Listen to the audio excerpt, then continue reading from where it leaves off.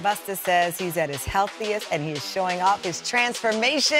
I'm 254 pounds right now, almost 100 pounds lost. What's good, everybody? This is yours truly, Busta Rhymes, and I'm gonna take you through this workout grind with me from Men's Health Magazine. Let's get it.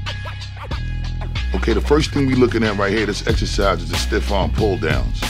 We usually do four sets of these, 15 reps each. And then, you know, this is pretty much the warm up. Coach likes to do this for back, torso, just to pretty much get the blood flowing. Feel me? All right, this second exercise that you're looking at is called the pullovers on a machine. We also do this for like four sets, 15 reps each. Great warm up for the chest and back. Good stretch. Now this is where we start turning it up a little bit. Exercise number three. This is the semi-flat bench press with a three second hold. We usually do this, you know, 15 reps, first set, 12 reps, second set when we get a little heavier, 10 reps when we get a little heavy on the third set. Great for the pecs and the upper chest. This next exercise right here, exercise number four, this is the high chair lower ab workout. Three sets, 15 reps each. This is perfect for the lower abs. The ab roller, exercise number five. We usually do three sets of these, 20 reps each. This is real good for the lower and upper abs.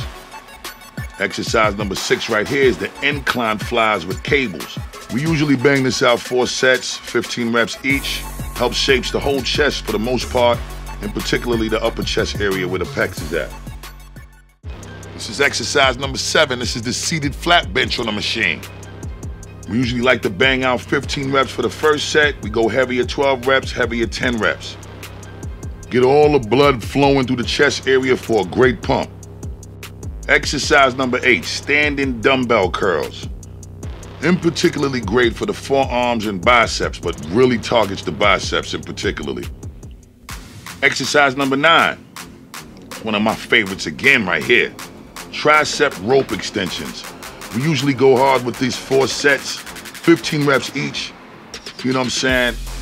Sometimes you like to throw in a fifth set and go heavier and we bang out like 12 reps, 12 to 15 reps, but this right here, pretty much, you know, it gets the swell flowing through the entire tricep muscle part in particular.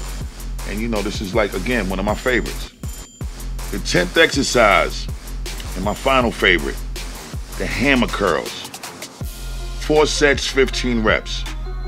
You know, in order to really have a full bicep, you gotta have that second part of the bicep swollen. It adds to the symmetry so that the bicep can look like the right swell, whether you're looking at it from the front, the back, or the side. Again, I got to big up Coach Victor Munoz, the whole Pro Edge family. Big up the Men's Health Magazine for definitely giving me this opportunity and this incredible feature, putting the spotlight on the kid as we move along and inspire the people on my transformation journey.